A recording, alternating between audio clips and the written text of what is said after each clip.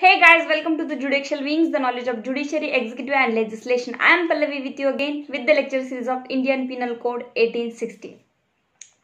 As we all know कि हमने hurt और ग्रीवस हर्ट के बारे में लास्ट वीडियो में देखा था बट दिवाली की वजह से कुछ छुट्टियाँ थी और मैं ज़्यादा उसे आगे के सेक्शंस को कवर नहीं कर पाई लेकिन अभी हम उसे रेगुलरली कवर करते जाएँगे हमने सेक्शन 319 हर्ट यानी थ्री और 320 के बारे में देख लिया था। हर्ट यानी कोई भी बॉडीली पेन और डिसीज और इन्फर्मिटी और वही अगर 320 की हम बात करें तो वही जो पेन है वो permanent privation of the either eye और आइडर ईयर और मेस्किलेशन उसमें आता था और उसमें फ्रैक्चर और एक ग्रीवियस इंजरी उसमें से आती थी। यानी कि जबरन किसी को भी मारना और उसका पेन उसे ट्वेंटी डे तक अगर उसे रहता था, वो अपनी रोज़मर्रा की ज़िंदगी ट्वेंटी डे तक नहीं जी सकता था तो उसे ग्रीवियस हर्ट बोला जाता है।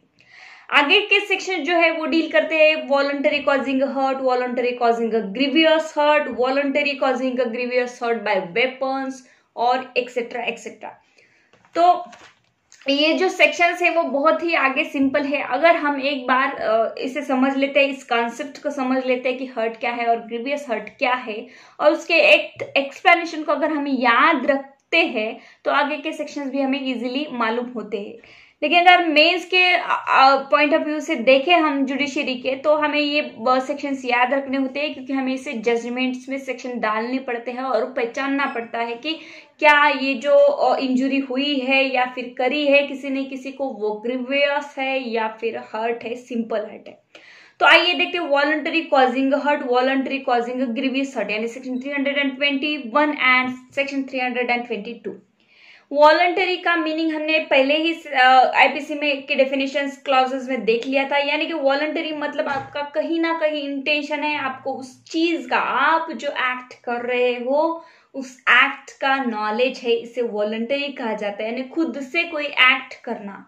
वॉलंटरी कॉजिंग हर्ट कोई यहाँ पे कर रहा है under section three hundred twenty one के under whoever does any act with the intention of thereby causing hurt to any person or with the knowledge that he is likely thereby to cause hurt to any person and does thereby cause hurt to any person is said voluntary cause hurt उसे पता है और उसका intention है तब उसे कहा जाएगा कि वॉलंटरी कॉजिंग हर्ट देखिए हमने सेक्शन 319 में हर्ट की डेफिनेशन देखी है उसी से ही हर्ट के बारे में ही 321 बोल रहा है लेकिन आईपीसी में हो या किसी भी लॉ में हो, अगर आपका इंटेंशन ही नहीं है तो उसे ऑफेंस नहीं माना जाता। इसीलिए स्पेसिफिकली दिया गया है, वो हर्ट कैसा चाहिए? वॉलंटरी कॉज होना चाहिए। इसलिए सेक्शन 321 बोलता है वॉलंटरी कॉजिंग हर्ट के बारे में। Intention plus knowledge that's it इतना ही इसमें बोला गया है। सेक्शन 322 की अगर हम बात करें तो वॉलंटरी कॉजिंग ग्रीवियस हर्ट के बारे में ये बोलता है, यानी कि ग्रीवियस हर्ट कोई कर रहा है बट उसमें भी उसका इंटेंशन नॉलेज होना चाहिए। यानी कि वॉलंटरी वो एक्ट उसने, वो ऑफेंस उसने किया हुआ होना चाहिए। क्यों? क्योंकि अगर कोई भी एक्ट किसी पर्सन से होता है तो यहाँ पे देखा जाता है कि उस पर्सन का इंटेंशन है या नहीं है। अगर इंटेंशन नहीं है तो वो जनरल एक्सेप्शन में चला जाएगा। ठीक है कि नहीं? हमने सेक्शन टू नाइनटी नाइन और थ्री हंड्रेड जब देखा था कल्पेबल होमिसाइड देखा था जनरल एक्सेप्शन देखे थे या मर्डर भी देखा था, तब हमने इसे तीन भी, इन तीनों भी पार्ट को, यानी कि जनरल एक्सेप्शन को और कल्पेबल होमिसाइड मर्डर को डिवाइड किया था इंटेंशन के बिहार पे।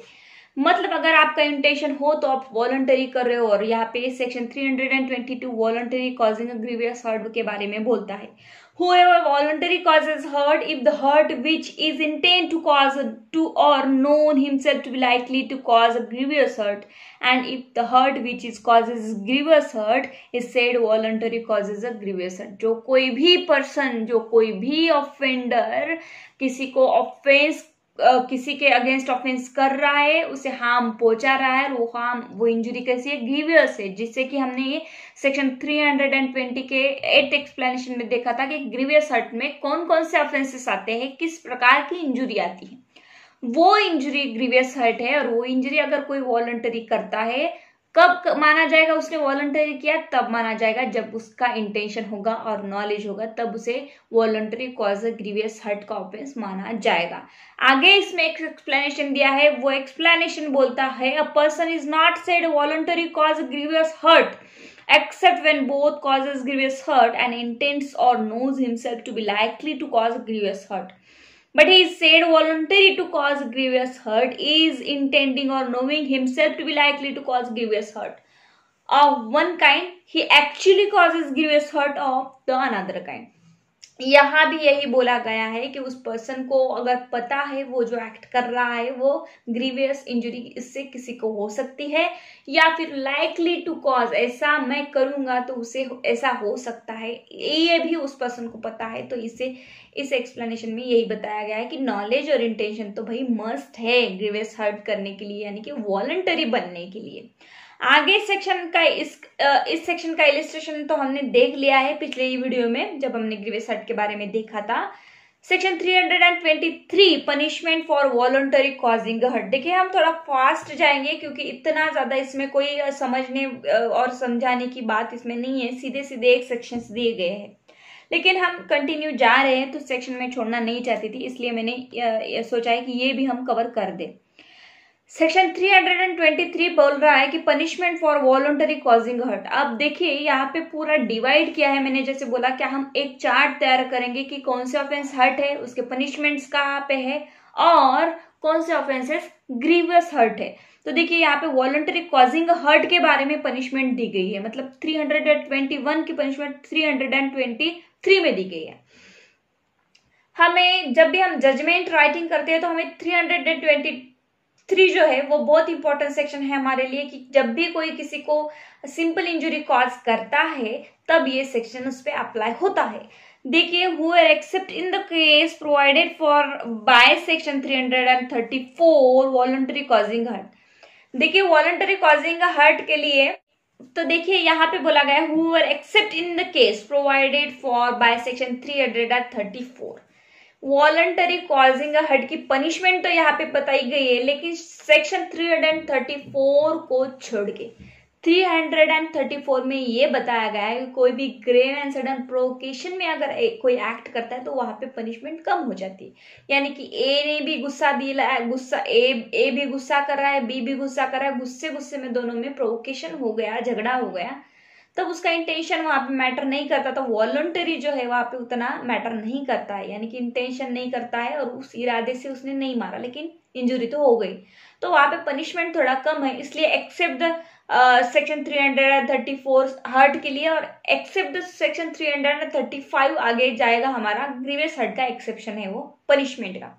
तो इस सेक्शन को छोड़ के causes a hurt shall be punished with imprisonment for either description for a term which may extend to one year sorry or with a fine which may extend to one thousand rupees और with both देखिए यहाँ बोला गया है कि कोई भी ऐसा ऑफेंस करता है जो कि वॉलंटरी कॉजिंग सिंपल हर्ट है उसे एक साल तक पनिशमेंट हो सकती है और वन थाउज़ेंड रुपये यानी हज़ार रुपये उसे फाइन लग सकता है और मे बी बोथ दोनों भी उसे पनिशमेंट हो सकती है। और आइदर डिस्क्रिप्शन की है यानी कि रिगरस और सिंपल दोनों में से कोई भी इम्प्रिजनमेंट उसे दी जा सकती है। ये ऑफेंस नॉन कॉग्निजिबल है यानी कि संज्ञेय अपराध ये नहीं है। बेलेबल है इसमें बेल ज, मिल जाएगी। बेल मिलना कि उसका इसमें राइट बनता है। Compoundable and triable by any magistrate में, यानी कि कंपाउंडेबल है कॉम्प्रोमाइज इसमें हो सकता है। आगे चलते हैं 324 voluntary causing hurt by dangerous weapon और मीन्स देखिए, ये भी वॉलंटरी कॉजिंग हर्ट के बारे में ही बोल रहा है। कोई भी पर्सन किसी को सिंपल इंजुरी करता है, लेकिन वॉलंटरी कॉज करता है, लेकिन वो उस सिंपल इंजुरी करते टाइम डेंजरस वेपन और मीन्स का इस्तेमाल कर रहा है। ये भी ग्रीवियस हर्ट में नहीं आता है 324 वॉलंटरी कॉजिंग का हर्ट में ही आता है। और तो और उसमें उस पर्सन ने क्या किया है? डेंजरस वेपन्स और मीन्स यूज़ किए हैं। बस इतना ही ये सेक्शन बोलता है। Whoever except in the case provided for by section 334 यहाँ पे भी 334 का एक्सेप्शन दिया है। यानी कि प्रोवोकेशन में किया हुआ एक्ट अगर होगा, तब उसे पनिशमेंट वहाँ पे कम होती है। Voluntary causes hurt by means of any instrument for shooting stabbing cutting देखिए शूटिंग के इंस्ट्रूमेंट कोई पिस्तौल या फिर स्टैबिंग या फिर कटिंग चाकू वगैरह, तलवारी कोई यूज़ कर रहा है। कौन कौन से इंस्ट्रूमेंट इसमें आते हैं? देखिए डेंजरस वेपन में यहाँ पे। Instrument which used as a weapon of offence is likely to cause death जिससे डेथ कॉज हो सकती है, चाकू से डेथ कॉज हो सकती है पिस्तौल से डेथ कॉज हो सकती है। ऐसे इंस्ट्रूमेंट यूज़ करने जा रहा है और क्या कर रहा है? सिंपल हर्ट कर रहा है। लेकिन यूज़ क्या कर रहा है? डेंजरस वेपन और बाय मीन्स ऑफ़ फायर आग लगेगी, ऐसे सब्सटेंस वो यूज़ कर रहा है और एनी हीटेड सब्सटेंस कोई हीटेड सब्सटेंस यूज़ कर रहा है, पटाखे हो एक्सेट्रा एक्सेट्रा और by means of any poison poison भी यूज़ कर रहा है। और एनी कोरोसिव सब्सटेंस यानी विस्फोटक पदार्थ यूज़ कर रहा है, और by means of any explosive substance और by means of any substance which is deleterious यानी कि हानिकारक है वो substance to the human body और टू इनहेल इनहेल यानी कि सॉरी बीत करने में किसी को उसे तकलीफ़ होगी, ऐसे कोई केमिकल्स को यूज़ कर रहा है. और टू सलो और टू सोलो और to receive into the blood और by means of any animal shall be punished with imprisonment of either description for a term which may extend to three year और with fine और with both देखिए, इतने सारे dangerous weapons means use कर रहा है कोई और सिंपल हर्ट कर रहा है तो वहाँ पे simple hurt plus dangerous weapon use करने के लिए उस पर्सन को कितनी पनिशमेंट है? आप बढ़ाई गई है। कितनी? थ्री इयर्स की पनिशमेंट अगर कोई सिंपल हर्ट करता है विदाउट वेपन तो उसे एक साल की पनिशमेंट थी और हज़ार रुपए फाइन था। यहाँ पे वही पर्सन अगर डेंजरस वेपन मीन्स यूज़ करता है, कोई ऐसा एनिमल यूज़ करता है जिससे सोसाइटी को उससे धोखा हो या फिर उस पर्सन को ज़्यादा हार्म पहुँचे, ऐसा हो। कोई ऐसे वेपन्स यूज़ कर रहा है जिससे डेथ कॉज हो, विस्फोटक पदार्थ यूज़ कर रहा है इनहेल करने में लोगों को दिक्कत हो रही है वहाँ पे। तो ऐसे ऐसे अगर सब्सटेंस ऐसे अगर डेंजरस वेपन को यूज़ कर रहा है तो यहाँ पे पनिशमेंट बढ़ाई गई है उस पर्सन को, उस ऑफेंडर को पनिशमेंट कितनी मिलेगी अब तीन साल तक पनिशमेंट उसको हो सकती है और उसे फाइन भी भरना पड़ेगा। ये जो ऑफेंस है वो कॉग्निजेबल है, यानी कि संज्ञेय अपराध है बेलेबल है non compoundable and triable by any magistrate पहले नॉन बेलेबल था शायद, अब उसे बेलेबल करा दिया गया है। आगे चलते हैं section 325 punishment for voluntary causing grievous hurt देखिए, अब तक हमने क्या देखा है? Punishment for voluntary causing hurt punishment for voluntary causing hurt by the using dangerous weapons और मीन्स अब आ गए हम सेक्शन 320 का जो ग्रीवियस हर्ट है, उसकी पनिशमेंट यहाँ पे दी गई। यानी कि 322 वॉलंटरी कॉजिंग ग्रीवियस हर्ट जो कोई भी कर रहा है, उसकी पनिशमेंट 325 में दी गई है। 325 सेक्शन बोलता है punishment for voluntary causing a grievous hurt whoever except in the case provided for by section 335 अभी यहाँ पे एक्सेप्शन डाला गया है 335 का। क्यों? क्योंकि 335 सेक्शन बोलता है कि कोई भी ग्रीवियस हर्ट कोई किसी को करता है, लेकिन वो प्रोवोकेशन में करता है, तब पनिशमेंट उसकी कब हो, कम होगी। तो वो 335 को छोड़ के ये पनिशमेंट उसे मिलेगी। अगर प्रोवोकेशन इसमें डाला जाए तो पनिशमेंट ये उस पर लागू नहीं होगी। 335 सेक्शन की पनिशमेंट वहाँ पे लागू होगी।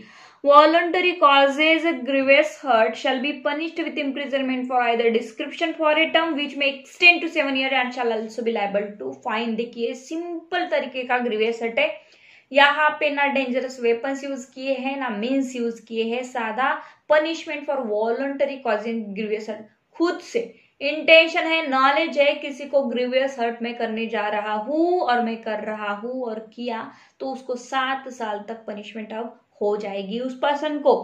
कॉग्निजेबल ऑफेंस है ये संज्ञेय अपराध है bailable compoundable with the permission of the court देखिए बेलेबल तो है कॉग्निजेबल तो है बेलेबल तो है, लेकिन परमिशन कंपाउंडेबल बट कंपाउंडेबल यानी कि कॉम्प्रोमाइज करना है तो इसमें परमिशन लेनी पड़ेगी कोर्ट की, यानी कि खुद से इसको कॉम्प्रोमाइज नहीं कर सकते। भाई, मैंने तो आपको मारा था, अब दो साल केस चल रहा है, कुछ भी नहीं हुआ उसमें, चलो हम दोनों भी मिलके कॉम्प्रोमाइज कर सकते ऐसा नहीं होता इसमें। इस, अगर कॉम्प्रोमाइज करना है केस को विथड्रॉ करना है तो आपको कोर्ट की परमिशन यहाँ पे लेनी पड़ेगी, क्योंकि ये ऑफेंस ग्रीवियस हर्ट का ऑफेंस है। Before which a prosecution of such offences is pending and triable by the magistrate. जिस मैजिस्ट्रेट के पास एक कोर्ट में केस चल रहा है, उसकी परमिशन आपको लेनी पड़ेगी। 325 में देखिए, सात साल की पनिशमेंट है। देखिए, हम हमेशा याद रखना चाहिए, हमें कि सिंपल हर्ट कोई करता है तो उसे एक साल और हज़ार रुपए का फाइन है। वही सिंपल हर्ट अगर अगर डेंजरस वेपन लेके कोई करता है तो वहाँ पे तीन साल तक पनिशमेंट उसे होगी। और ग्रीवियस हर्ट कोई करता है, साधा grievous hurt voluntary grievous hurt तब उसे सात साल तक पनिशमेंट होगी। वही 326 बात करता है voluntary causing a grievous hurt by dangerous weapon और मीन्स अभी देखिए, जैसे वन साल की पनिशमेंट सिंपल हर्ट की तीन साल तक करा दी थी, अब सात साल की ग्रीवियस हर्ट की पनिशमेंट क्या है? अभी इम्प्रिजनमेंट ऑफ़ लाइफ तक बढ़ा दी गई है, जब कोई भी वेपन्स यूज़ करता है, तब। तो यहाँ कहा गया है, whoever except in the case provided for by section 335 voluntary causes grievous hurt by means of any instrument for shooting stabbing cutting पूरे ऊपर के जो इंस्ट्रूमेंट है, यहाँ पे यूज़ कर रहा है, लेकिन ग्रीवियस हर्ट कॉज कर रहा है। मैं इतना ज़्यादा नहीं पढ़ूँगी अभी। आप पढ़ लेना, क्योंकि बहुत टाइम लगता है वीडियो बनाने में, फिर वीडियो बहुत लंबी बन जाती है। वही सब्सटेंसेस है जहाँ पे सिंपल हार्ट कोई कॉज कर रहा था, तब यूज़ किए थे वही वेपन्स है, वही वेपन्स अगर ग्रीवियस हर्ट करते टाइम कोई यूज़ कर रहा है, तब उसे इम्प्रिजरमेंट ऑफ़ लाइफ और टेन इयर्स की टेन इयर्स तक उसे पनिशमेंट हो सकती है इम्प्रिजरमेंट लाइफ तक की पनिशमेंट जा सकती है और फाइन भी उसके साथ में है। कॉग्निजेबल है नॉन बेबल है और ये जो ऑफेंस है वो याद रखना नॉन कंपाउंडेबल ऑफेंस है, इसमें कॉम्प्रोमाइज नहीं होगा सीआरपीसी के चार्ट में इसे नहीं दिया गया है। और मैजिस्ट्रेट ऑफ़ फ़र्स्ट क्लास के पास इसका ट्रायल चलेगा। सेक्शन 326 ए ये अमेंडमेंट करके डाला गया है 2013 में uh, 2013 में। Section three hundred A voluntary causing a grievous hurt by use of acid etcetera देखिए हम जितना भी इसे बुरा या फिर घिनोना एक्ट बोले ऑफेंस बोले हम हमारे शब्द कम ही पड़ जाते हैं क्योंकि एसिड अटैक के केसेस आप सभी जानते हैं कि कितने बढ़ चुके और कितना ग्रीवियस ये ऑफेंस है, कितना डेंजरस ये ऑफेंस है। हुएवर कॉजेज अ परमानेंट और पार्शियल डैमेज और डिफॉर्मिटी किसी को भी, किसी भी पर्सन को, यहाँ पे स्पेसिफिकली विमेन एसिड अटैक के बारे में नहीं बोला गया है, कोई भी पर्सन पे अगर कोई अटैक करता है।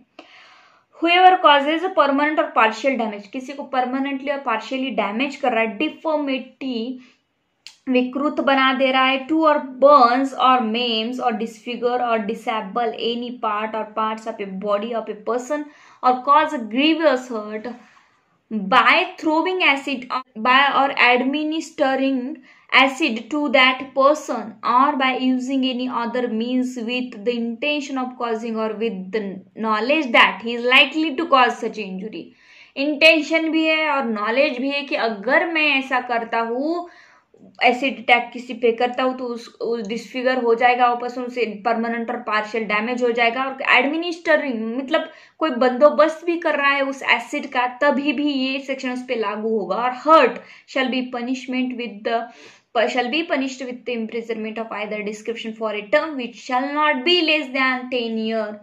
दस साल के लेस मतलब कम उसमें पनिशमेंट नहीं है। जज साहब आपको 10 साल से कम इसमें पनिशमेंट नहीं दे सकते but which may extend to imprisonment for life extend कर सकते हैं, कहाँ तक इम्प्रिजनमेंट फॉर लाइफ तक, यानी कि आजन्म कारावास तक उस पर्सन को पनिशमेंट दे सकता है कोर्ट दे सकती है court and with fine provided that such a fine shall be just and reasonable to meet the medical expenses of the treatment of the victims. देखिए, यह कहा गया है, जो भी फाइन कलेक्ट किया जाएगा, वो उस विक्टिम को दिया जाएगा और उतना ही फाइन उस उतना उतना रिजनेबल फाइन उससे कलेक्ट किया जाएगा, जिससे उस विक्टिम की मेडिकल ट्रीटमेंट में वो काम आ जाए और हो जाए।